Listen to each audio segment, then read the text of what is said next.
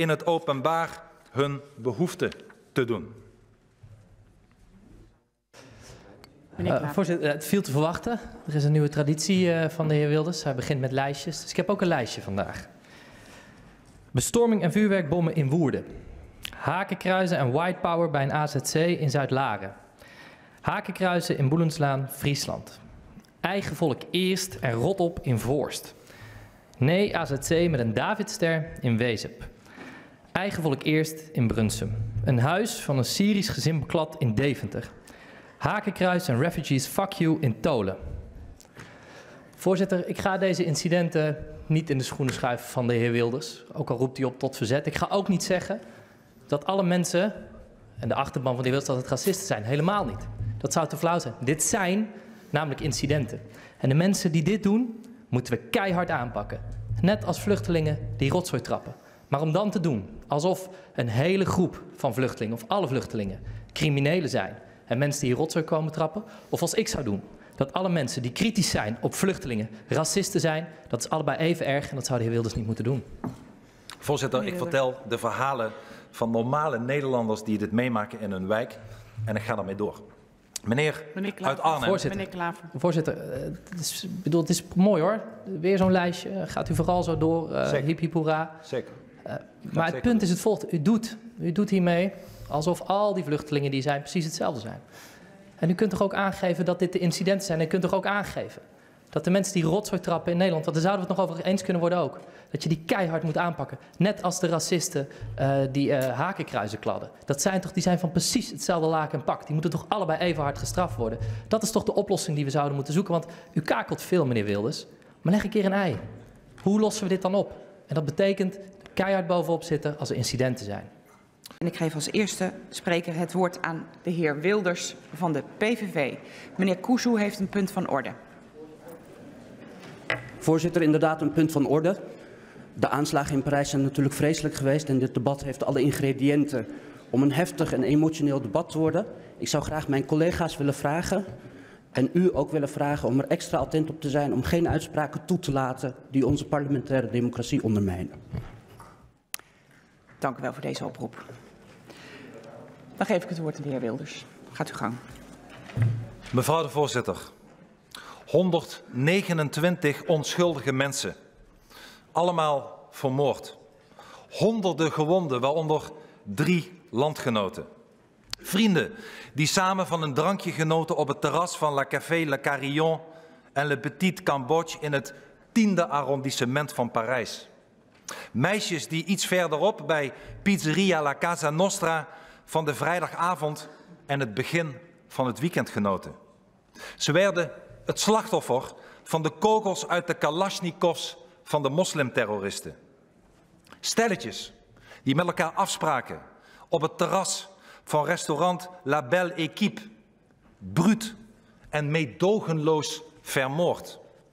En al die mensen, jongeren, die naar het concert gingen in de muziekzaal Bataclan, iets verderop in het 11e arrondissement. Onschuldige mensen in blinde paniek als ratten in de val. En het laatste, het laatste wat ze hoorden was de triomfkreet van het kwaad. Het trotse geschreeuw van de vijand. Allahu Akbar. Afgeslacht in een bloedbad dat zijn weergaan niet kent. Onbeschrijfelijk leed. Onbeschrijfelijk. Ik heb er geen woorden voor. Al die pijn, al dat verdriet, al die onschuldige mensen die hun partner, hun vader, hun moeder, hun kinderen, hun broer, hun zus, vrienden en kennissen onvrijwillig achterlieten in onmenselijk en bijna niet te dragen verdriet. En voorzitter, ik deel dat verdriet.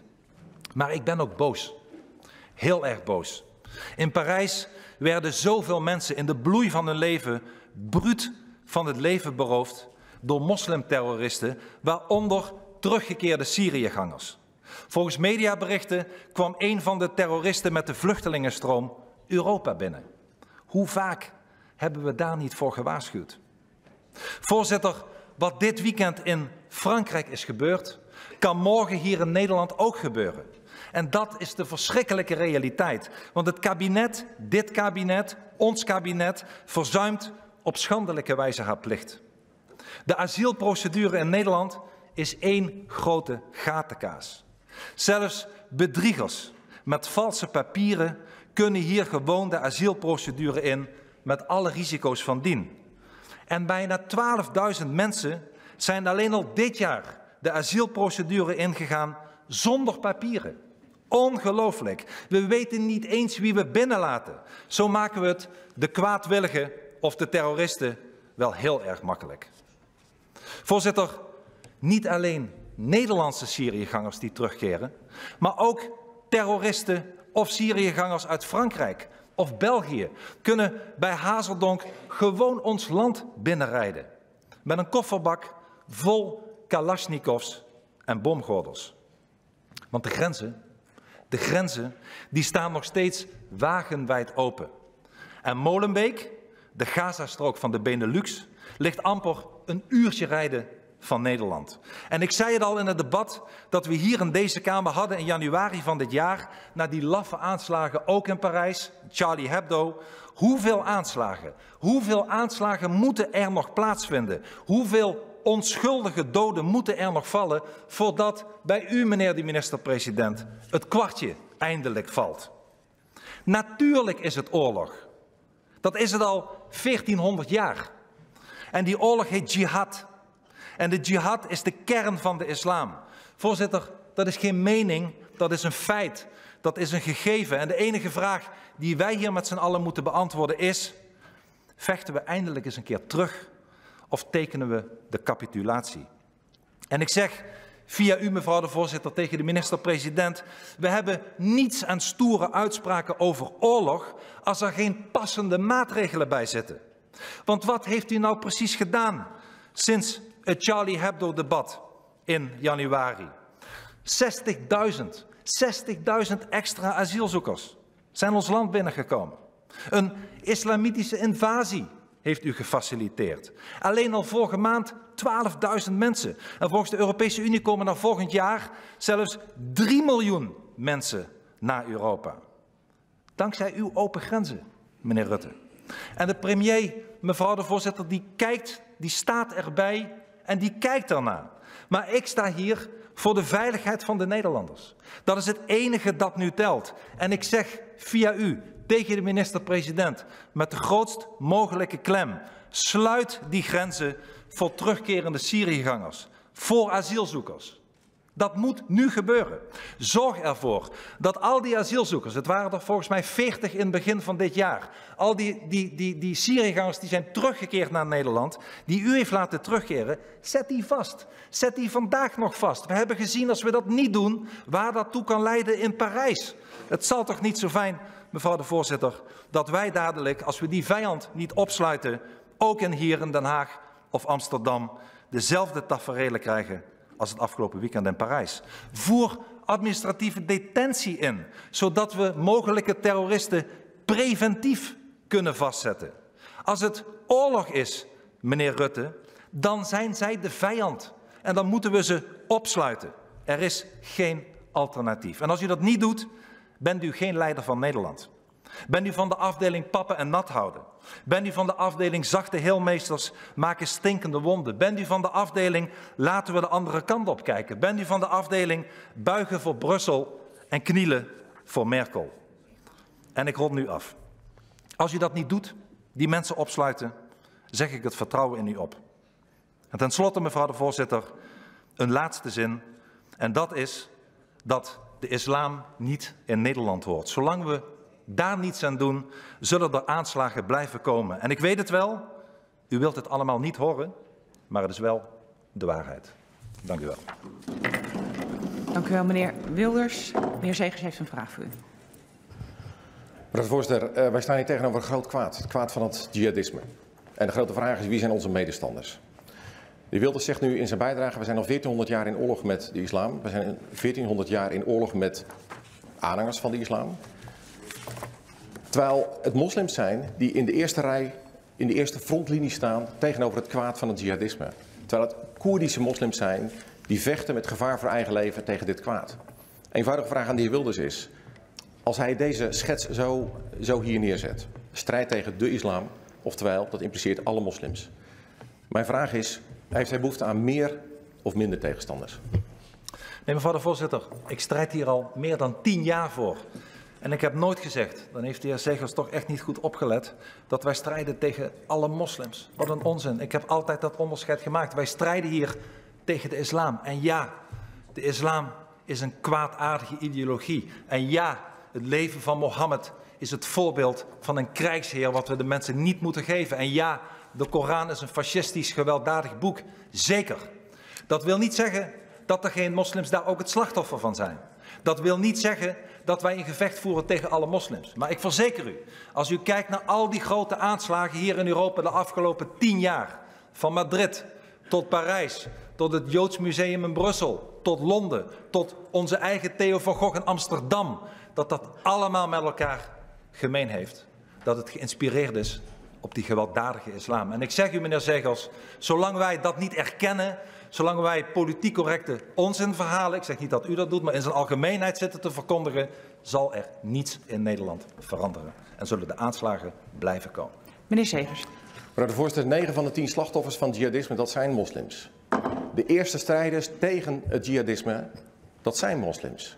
Daar in de regio. Ik heb zelf zeven jaar in die regio gewoond. Ik ken het kwaad van het jihadisme. Ik weet dat de wereld van de islam duistere kanten heeft. Maar ik weet ook dat we bondgenoten hebben. Ik weet ook dat, dat we potentiële medestanders hebben. En mijn vraag is, zijn dat ook de medestanders van de heer Wilders? Moslims die met behoud van hun eigen geloofsovertuiging strijden tegen dit kwaad. Zijn dat bondgenoten van de heer Wilders, ja of nee?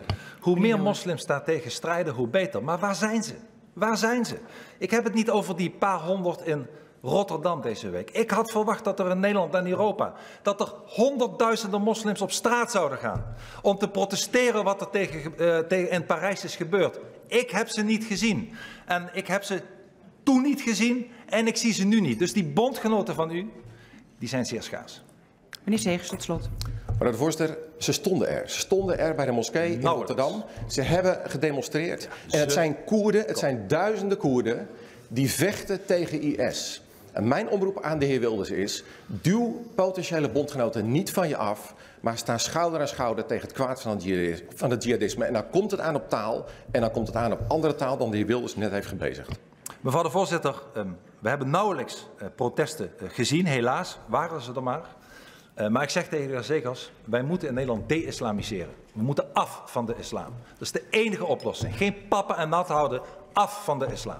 Als we dat niet doen, dan zullen we de ellende en de aanslagen die we de afgelopen decennia hebben gezien, blijven houden. We hebben het paard van Troje naar Europa gehaald. We hebben ze niet gevraagd te assimileren, maar ze gepemperd van alle kanten. We zijn niet opgetreden tegen de, tegen de agressievelingen onder hen. En dat zullen we eindelijk een keer moeten gaan doen. En wat we moeten beginnen, waar we moeten beginnen, is het sluiten van de grenzen.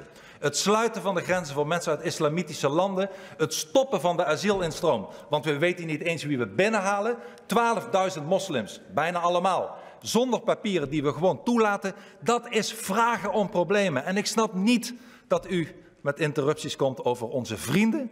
Het zijn niet allemaal onze vijanden, maar de ideologie is levensgevaarlijk. Meneer Koesel. Voorzitter, ik haak even aan op het element dat uh, in de afgelopen dagen er heel weinig moslims zich van zich hebben laten horen. En dat meneer Wilders die niet heeft gezien. We hebben in Rotterdam hebben we een hele waardige bijeenkomst gehad. We hebben in verschillende gemeenten in het land hebben we op een hele waardige manier een minuut stilte gehouden. In Amsterdam hebben moslims en joden hand in hand geprotesteerd tegen die funzige aanslagen in Parijs. Hoe kan het dan zo zijn dat meneer Wilders de islam en daarbij meteen ook, eh, daar meteen aan toegevoegd. Moslims geloven nou eenmaal in de islam. Dat hij die mensen wegzet en dat die niet aangeeft van hé, hey, ze dragen bij aan de oplossing. Dank u wel. Nee, allebei is niet waar. Want nogmaals, ik heb het over die kwaadaardige, gewelddadige ideologie en niet over de mensen. Dus ja, dat u dat op één lijn scheert, zegt meer over u dan over mij, want ik heb dat niet gedaan. En ten tweede, er waren er bijna geen. Misschien op een plekje in Rotterdam. Um, ik bedoel, er waren volgens mij meer mensen van het NOS-journaal um, um, die dat graag uitzenden uh, live. goed gefilmd dat iedereen in Nederland denkt dat er 3 miljoen mensen stonden. Dat was niet zo. Dat was niet zo. De werkelijkheid is dat ik geen massademonstraties heb gezien in heel Nederland of in Parijs of in elders waar moslims zeggen en opstaan in grote getalen: dit is niet mijn islam. Ik heb ze niet gezien. En zolang ik ze niet zie, is het de minderheid die kan doen wat ze doen omdat de meerderheid het gedoogt. Dat is wat er aan de hand is.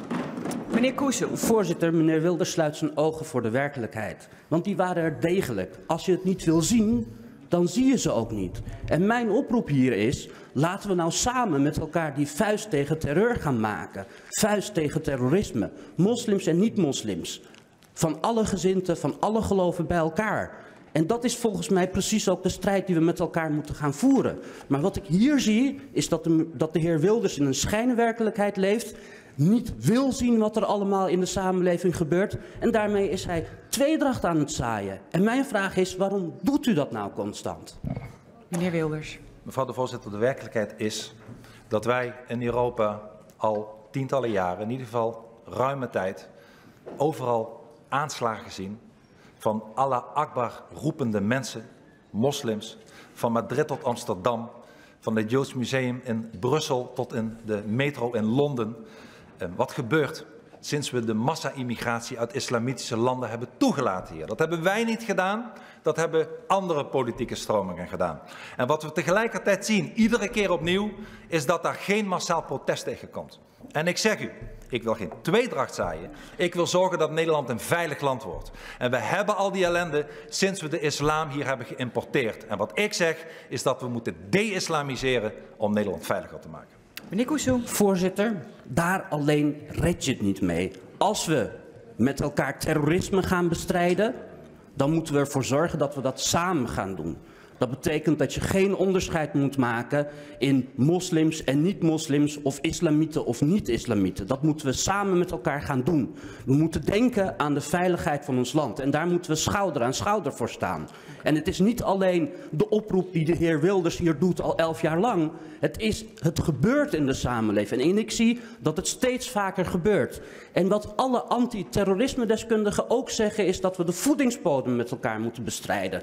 De NCTV geeft aan in zijn terreurdreiging van afgelopen juni dat de uitspraken van de heer Wilders ook een magnetische vorm hebben in het binnenhalen van terreur in Nederland. Hoe ziet u uw eigen rol daarin? U bent een terreurmagneet, meneer Wilders.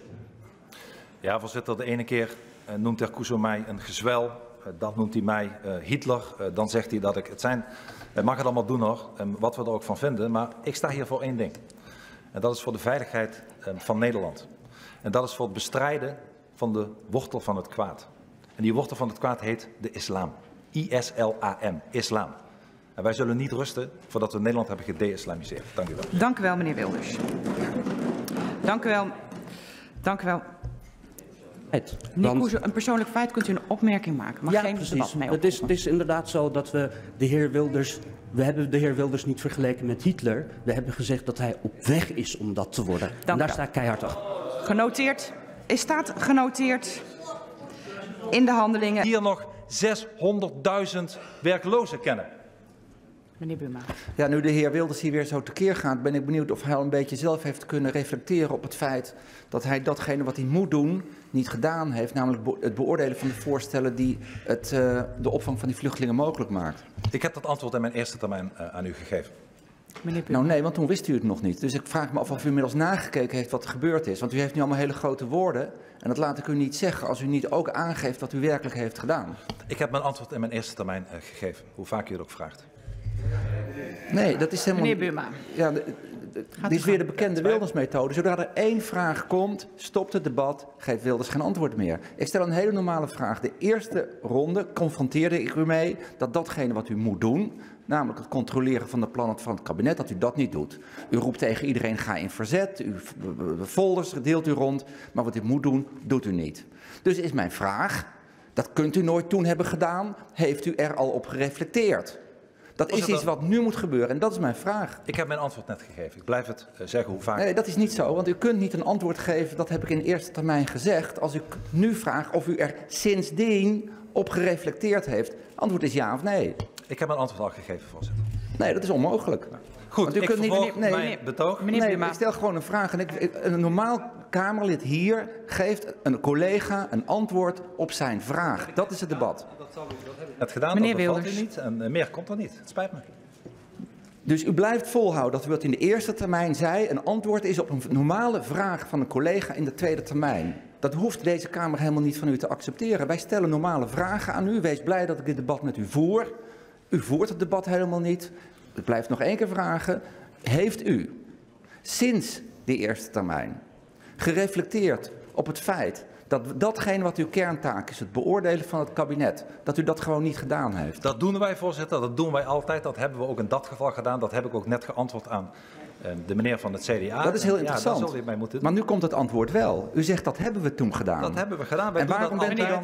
En als dat zo is, dat u dat gedaan heeft, dan wordt het natuurlijk wel interessant waarom u akkoord bent gegaan met het voorstel van het kabinet om het gemakkelijker te maken om grote asielzoekerscentra in de provincies in te richten. Nou, voorzitter, als u Meneer goed Wilders. terugkijkt, dan ziet u dat eh, mijn eh, collega, eh, collega Matlener, als u dat in de handelingen eh, terugziet, ook bij die wet, de opmerkingen heeft gemaakt. Hij heeft de opmerkingen gemaakt over het feit dat die wet zou worden gebruikt eh, voor de grotere asielzoekerscentra. Uiteindelijk hebben wij een totale afweging over die wet eh, gedacht.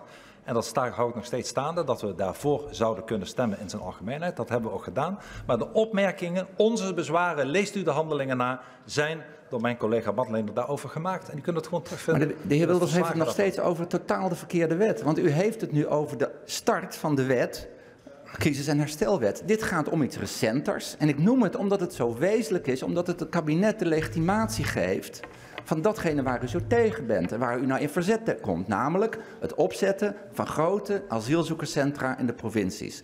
Dat was een ANVB die een jaar geleden, november vorig jaar, voorhang kreeg. Hier door een schriftelijke procedure is gehaald. De meeste partijen gingen daar blanco mee akkoord. De heer Roemer is de enige die daar in een schriftelijke ronde vragen over heeft gesteld. U niet. Het is gepasseerd en het is in het staatsblad gekomen. Nee, Dus uw ik- ik hele heer Had Matlener heeft helemaal niks Nee, daarover gezegd. zeker Hij heeft wel. niet eens naar de goede wet gekeken. Nee, voorzitter, het klopt echt van geen kanten. En ik ga nog één keer een antwoord geven, dan geef ik het niet meer. Al staat hier Buma nou 500 keer. Wij hebben bij de behandeling van die wet, waar die ANVB uit voortkomt, de opmerking gemaakt. Nee, maar dat hebben we gedaan. We hebben bij die behandeling van de wet de opmerking gemaakt. U kunt dat teruglezen in de stukken dat wij vinden dat het daarvoor niet zou moeten worden gebruikt. Er zat nog veel meer in die wet, daarom hebben wij voor die wet gestemd. Dat is wat we hebben gedaan. We hebben ernaar gekeken, we hebben het antwoord gegeven. We stemmen hier wel vaker voor wetten waar een onderdeel in staat wat ons niet zo bezint. Maar die crisis- en herstelwet, waar die ANVB uit voorkomt, had ook heel veel positieve punten. We hebben ons werk hartstikke goed gedaan. En we gaan dat morgen in het land opnieuw doen, meneer Buma. Het bijt zich niet. Hier je werk doen en hier buiten je werk doen. Ik zou willen dat u dat eens wat vaker deed. Meneer Buma. De heer Wilders blijft dus continu over de verkeerde wet hebben. Ik bedoel, dat zegt wel genoeg. U heeft uren de tijd gehad. We vragen vaak het kabinet om binnen een uur brief te schrijven. Dit gaat om één ANVB die u niet bekeken heeft. En ik vraag in ieder geval de heer Wilders, als hij straks weer stoer naar al die plaatsen toe gaat, de mensen ook eerlijk te vertellen dat het mede dankzij hem is dat er straks grote centra komen in de provincies voor de opvang van asielzoekers. En dat hij zijn taak verrichtende in de Tweede Kamer ervoor gekozen heeft het niet tegen te houden. Dan zou u een kerel zijn in plaats van het roepen tot verzet van anderen. Wij zullen de mensen in het land, meneer Buma, heel eerlijk vertellen dat wat de PVV betreft er nul asielzoekers meer bij komen in het land. Dat we de grenzen gaan sluiten en dat er helemaal niemand meer binnenkomt. En dat we dus om die reden ook geen asielzoekerscentra meer nodig hebben. En we zullen de mensen er ook bij vertellen, meneer Buma, dat het CDA de boekhouders van deze Kamer zijn. Die inderdaad misschien overal naar kijken, hulde daarvoor. Maar ondertussen de grenzen wagenwijd openzetten, wagenwijd openzetten. Waardoor we in dit land die asielzoekerscentra nodig hebben. Bij ons heb je ze niet nodig. Ik ga in het land om die mensen te steunen. Bij u heb je ze wel nodig, want u zegt... Kom er allemaal binnen met je klecht, de grenzen wagenwijd open. En Maar dat is de werkelijkheid. Maar dan is er ook geen enkele reden om naar al die plaatsen toe te gaan. Want u kunt gewoon zeggen, die cent, want dat is blijkbaar wat u vindt. Nu die mensen al in Nederland zijn, vindt u dus nu ook dat ze opgevangen moeten worden. Want daarom stemde u voor die regel. U was tegen grenzen open. Maar nu de grenzen eenmaal open zijn, zegt ook u blijkbaar... kijk naar wat u met die ANVB moest doen. Ja, sorry. Nu moeten we wel akkoord gaan met grote asielzoekerscentra. Wees een vent en zeg dat. Ja, ik ben een vent en ik zeg grenzen dicht, Nul asielzoekers daarbij. En ik zeg tegen iedereen, kijk naar het CDA, kijk naar meneer Buma. Want de heer Buma die zegt, de grenzen moeten wagenwijd open. De heer Buma die zegt, die 13.000 van september is nog niet genoeg. De heer Buma die zegt, we moeten het land volbouwen met asielzoekerscentra. Want van het CDA, jazeker, u kunt nou een beetje staan te lachen. Maar van het CDA mogen al die asielzoekers binnen. En van het CDA mogen we ook al dat geld besteden aan asielzoekers in plaats van aan pensioenen en andere zaken. Meneer Pechtold. Voorzitter, en dan het punt, want het CDA heeft natuurlijk helemaal gelijk dat u gewoon de wetten niet leest. Maar nu even het punt wat u in het land kunt vertellen over op het moment dat u dan levert. Want in eerste termijn heb ik u gevraagd om te reflecteren op het feit dat toen u de regering vormde, dat er duizenden asielzoekers kwamen en dat u nu zegt het gaat naar nul worden. Gaat u ook tegen al die plaatsen zeggen van kijk, ik ga jullie dat vertellen, ik ga jullie dat beloven, maar op het moment dat ik aan tafel zit, dan laat ik het gewoon gebeuren. Hè? Ik, ik, voer campagne met 65 blijft de leeftijd, maar de dag na de verkiezingen lever ik dat in. Dus ik ga jullie nu vertellen, er komen nul asielzoekers binnen, maar de dag dat ik dadelijk weer een keer, stel dat het zover is, de macht heb, jongens, dan blijven ze gewoon komen. Ja, mevrouw de voorzitter, het is, het is toch wel een beetje gênant om te zien dat alle collega's die weten alle collega's die weten hier, de nu lachende, hij lacht gewoon de kiezers uit. De, de heer Buma die de mensen uitlacht. De heer Pechtold die nu ook een trucje probeert uit te halen. U heeft allemaal de mensen niet achter u. U staat geloof ik op, op, op, op tien zetels in de peilingen, meneer Pechtold. Uw verhaal resoneert niet. Mensen snappen niet waarom de heer Pechtold en waarom de heer Buma die grenzen openlaten. En ik zeg tegen iedereen, mevrouw de voorzitter, zoals ik ook tegen de Pechtold zeg, bij de PVV weet je één ding zeker. En dat is nul asielzoekers er maar bij. Bij ons weet je één ding zeker en dat is dat de grenzen dichtgaan. Dat genoeg genoeg is. Dat mensen ons daaraan kunnen houden. Dat we niet van de afdeling Buma en Pechtold zijn en dat is de grenzen maar openzetten. Dat doen wij niet, dat willen wij niet. En ik ben er ontzettend blij omdat er tenminste nog één partij is hier in de Tweede Kamer die al die miljoenen mensen durft te vertegenwoordigen. En ik zeg u met trots. Voorzitter, het is niet de makkelijkste dag voor de heer Wilders. Een beetje handen in de zak. Handen in de zakken, een beetje ongemak. Want ja, het is weer een keer debatteren. Hè? En je merkt, het aan de, je merkt het aan de eerste termijnvoorzitter. De eerste fractievoorzitters, daar durfde hij nog. Maar daarna kwam het kabinet. Hij had geen vraag. Niet aan de minister, niet aan de vicepremier, niet aan de, aan de staatssecretaris. Aan helemaal niemand had hij een vraag. Want hij merkt wel, op het moment dat het over feiten gaat. Ben je bij wetsbehandelingen geweest? Dan wordt hier afgedroogd. Op het moment dat hij zegt nul, wordt hier aangetoond dat hij zelf verantwoordelijk is voor duizenden. Op het moment dat hij geconfronteerd wordt met Griekenland, blijkt zijn eigen verleden hier nogal dubieus te zijn. Voorzitter, ik denk dat meneer Wilders inderdaad veel het land in moet gaan, maar met iets andere folders. Namelijk, ik beloof u, maar ik lever nooit wat. Het enige wat ik u lever is, geloof ik, wat is het vandaag? De twintigste motie van wantrouwen. Wat een jubileum. Ja, het, mevrouw de voorzitter, ik weet dat het heel erg veel pijn doet bij al die collega's en die fracties hier in de Tweede Kamer die iedere dag opnieuw honderdduizenden kiezers naar de PVV zien weglopen. Dat doet pijn.